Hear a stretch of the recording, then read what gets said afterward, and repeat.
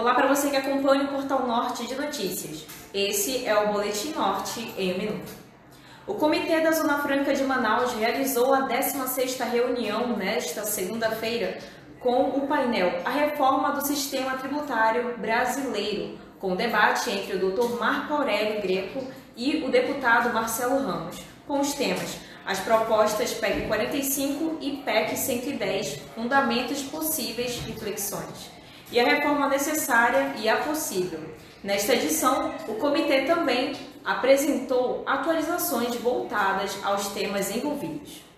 E na madrugada desta quarta-feira, a Polícia Ambiental e a Companhia de Policiamento de Cães, em Operação Horus, apreenderam uma grande carga de carne de animais silvestres e de pescados protegidos pelo defeso, estocados em uma embarcação ancorada no porto de Manaus, no centro da cidade.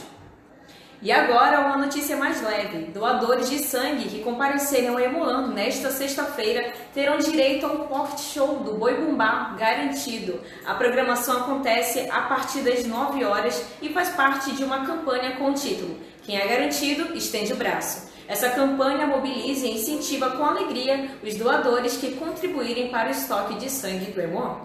Eu sou Sheila Monique do Portal Norte de Notícias.